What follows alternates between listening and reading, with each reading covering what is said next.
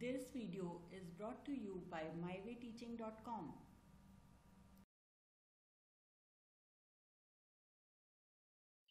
Next concept is formal charge on an atom in a Lewis structure.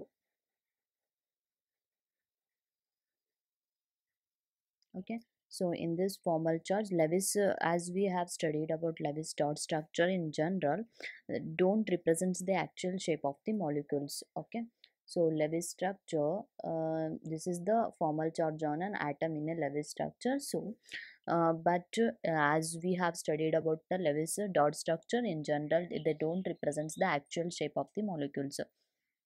In case of polyatomic ions, the net charge is possessed by the ion as a whole and not by a particular atom okay so there is a formal charge formal charge it is having uh, uh, the formula like the formal charge of an atom in a Lewis structure is equal to uh, this is total number of valence electrons in the free atom and minus total number of uh, non-bonding electrons minus half into total number of bonding or shared electrons okay?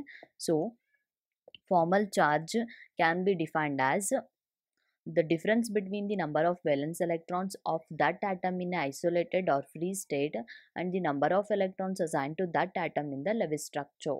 Okay so i will uh, uh, formal charge can be defined as formal charge that can be defined as the uh, difference between the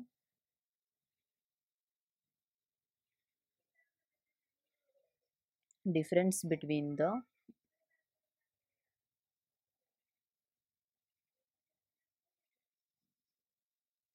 number of valence electrons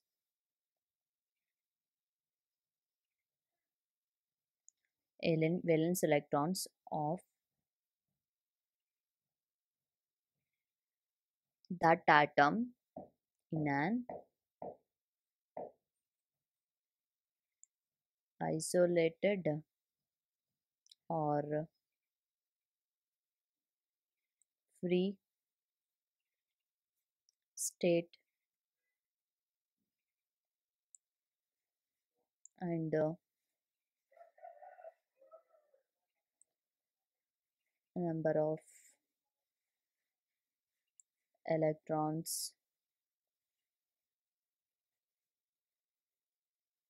assigned to that atom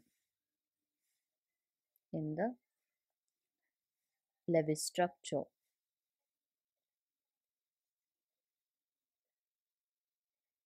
So you can write down this one. The formal charge is defined as the difference between the number of valence electrons of that atom in an isolated or free state and uh, the number of electrons assigned to that atom in the Lewis structure.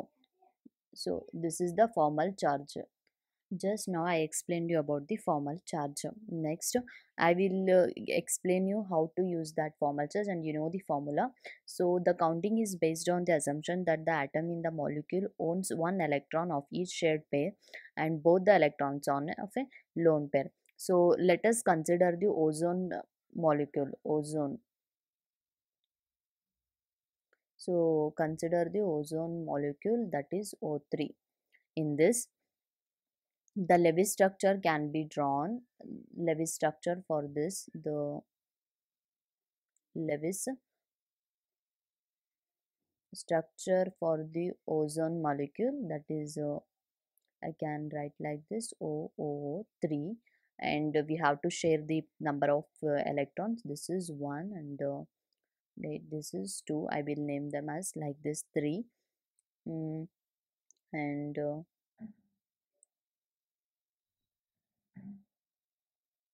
hmm, see here there are the two electrons i will write.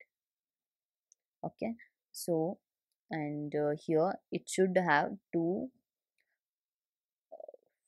six eight number of electrons. So here i already two is there. So it is sharing again 8 electrons like this. It is also having now this is 4 and remaining 4 are shared here. This is shared 1 2 and it should have how many? 6 electrons like 1 2 4 5 and 6 okay. So this is the Lewis structure. The atoms have been numbered as 1 2 and 3 in that the first one the central atom central O atom marked as the atom 1 in that. So according to the formula the formal charge is equal to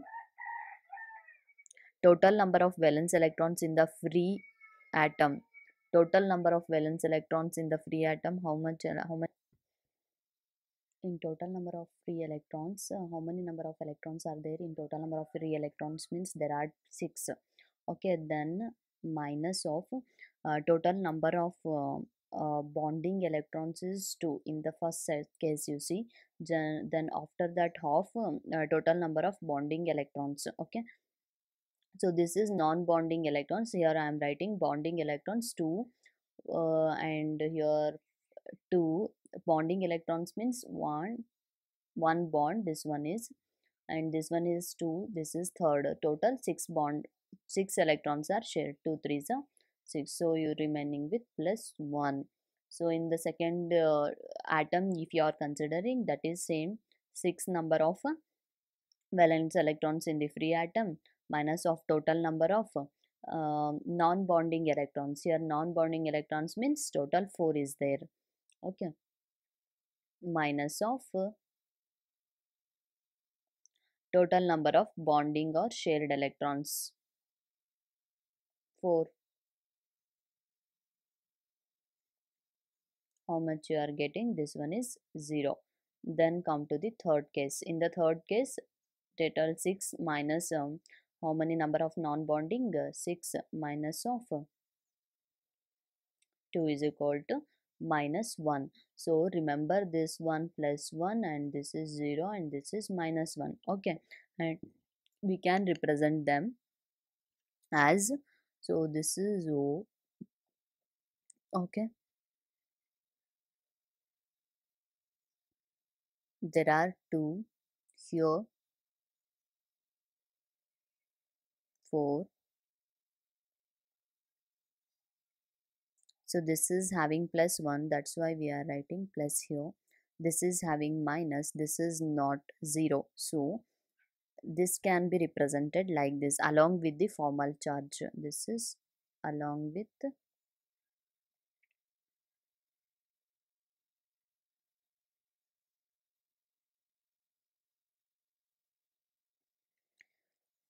So, generally the lowest energy structure is the one with the smallest formal charges on the atoms. Okay, generally the lowest energy structure is a lowest energy structure is the one with to the smallest uh, formal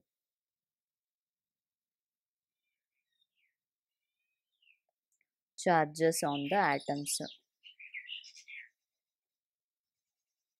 So the formal charge is a factor based on a pure covalent view of bonding in which electron pairs are shared equally by neighboring atoms. So this is about the formal charge. Next is limitation of the octet rule. There are three limitations in this octet, octet rule. That is the incomplete octet of the central atom, odd electron molecules and the expanded octet okay so i will explain you each and everything in detail here the first is the incomplete octet of the central atom so it means the incomplete act, uh, octet of the central atom before going to that. The octet rule the useful is not which is not acceptable in uh, universal. Uh, it is uh, quite useful for understanding the structure of uh, most of the organic compounds and it applies mainly to the second periodic elements of the periodic table. This is applicable only to the second okay second period element second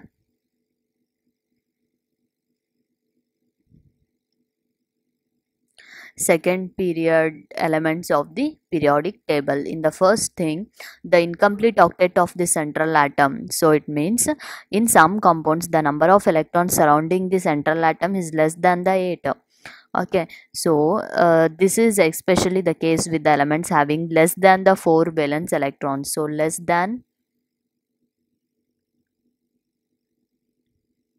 less than 8 surrounding uh, or uh, some compounds electrons surrounding the central atom. So they are less than the 8 g h sorry this is 8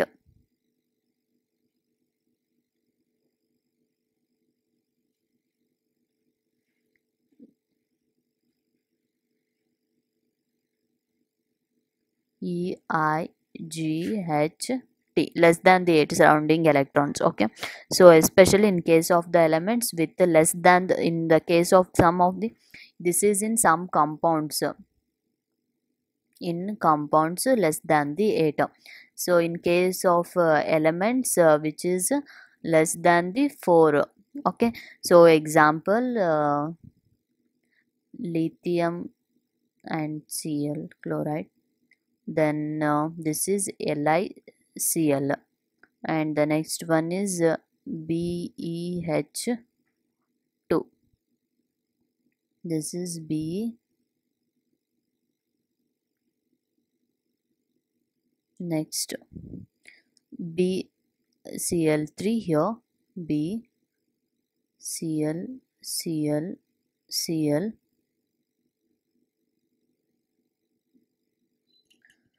so this is in the first case. Next next one is odd electron odd electron molecules.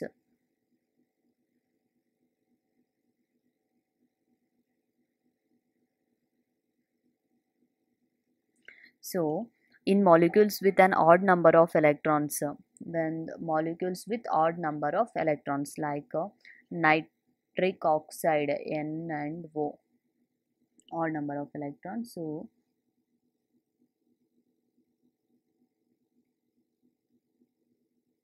example for this is nitric oxide. Okay. Next one is the expanded octet. It means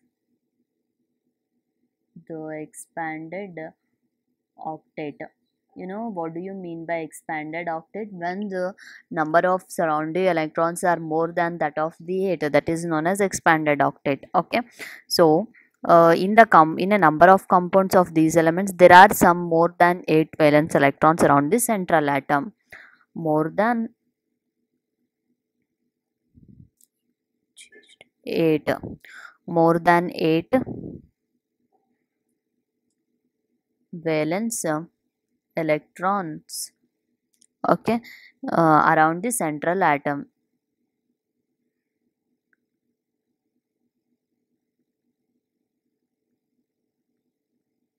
Around the central atom this is termed as expanded octet. In the this is in compounds okay.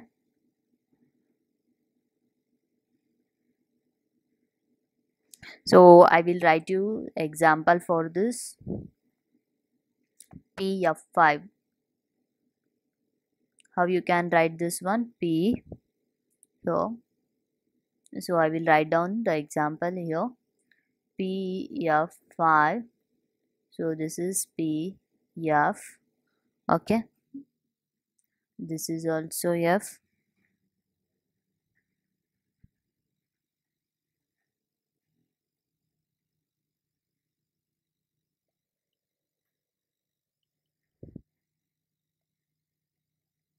one two. One six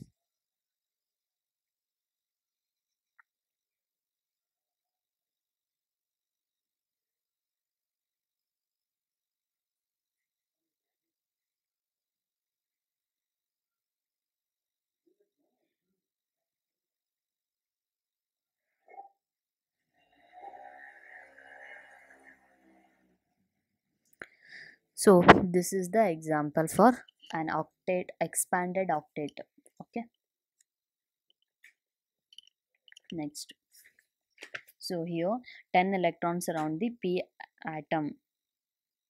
See 2 2 2 2 2 total of 10 electrons are there in or uh, are there around the p atom. Okay so this is the expanded octet next. Still you are having uh, other drawbacks uh, in this one uh, okay. So this is pf5 uh, here just consider this is the one bond this is one bond one two three. Total one two three four and five bonds are there in between p and f.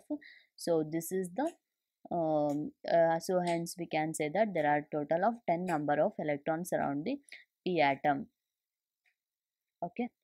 Then still it is having other drawbacks.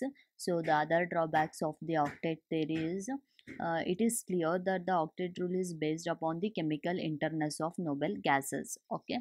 So uh, however some noble gases also combine with the oxygen and fluorine to form a number of compounds okay?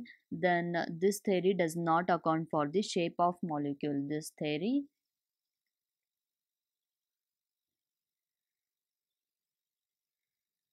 does not uh, account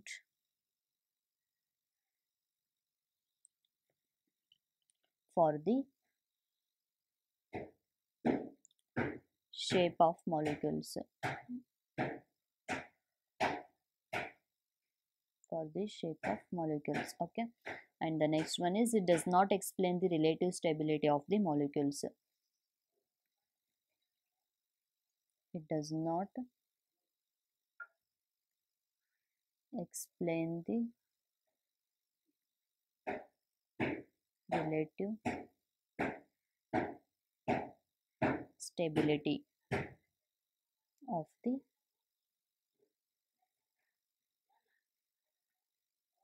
molecules. Being totally silent about the energy of the molecule. Okay so this is the one this is the second point the other drawbacks of the octet theory